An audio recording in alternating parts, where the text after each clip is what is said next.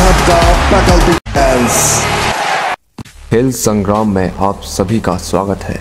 Pro kabaddi league season 6 के छठे दिन का दूसरा मुकाबला पुनेरी पल्टन और दबंग दिल्ली के बीच खेला गया, जिसमें दबंग दिल्ली ने पुनेरी पल्टन को इकतालीस सैतीस के अंतर से हराया। तो ये जानते हैं सोनीपत के Motilal Nehru school of sports में खेले गए इस मुकाबले का पूरा हाल। दोनों ही टीमों के बीच शुरुआती मुकाबला कांटे की टक्कर का था। तीसरे मिनट में नवीन कुमार के सुपर रेड के बाद दोनों टीमों का स्कोर तीन तीन अंकों से बराबर रहा। सातवें मिनट में पुनेरी पल्टन को ऑल आउट कर दबंग दबंग दिल्ली ने 11-5 से बढ़त बनाई। पंद्रह मिनट में दबंग दिल्ली ऑल आउट हुई और पुनेरी पल्टन ने एक अंक की बढ़त हासिल की। लेकिन अगले ही मिनट में मिराज शेख के रेड के बाद स्कोर 18-18 अंकों से बराबर हुआ। इसके बाद पहले हाफ़ के खत्म होने से ठीक पहले नितिन तोमर के सुपर रेड की बदौलत पुनेरी पल्टन 22-20 से आगे रही। दूसरे हाफ़ में भी दोनों टीमों के बीच ज़बरदस्त भिड़न देखने को मिली। सत्ताईसवें मिनट तक पुनेरी पल्टन एक अंक से आगे रही। लेकिन अगले ही मिनट में पवन कादियान ने रेड कर दबंग दिल्ली को एक अंक की बढ़त दिलाई।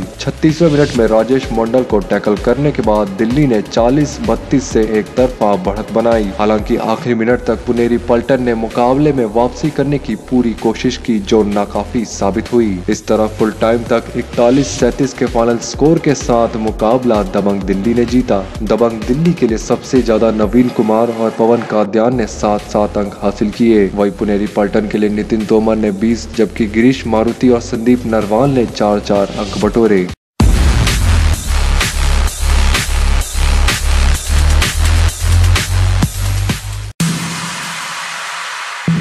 कल देखिए पहला पंगा तेलुगु टाइटंस वर्सेस यूपी योद्धा और दूसरा पंगा Haryana Steelers versus U Mumba.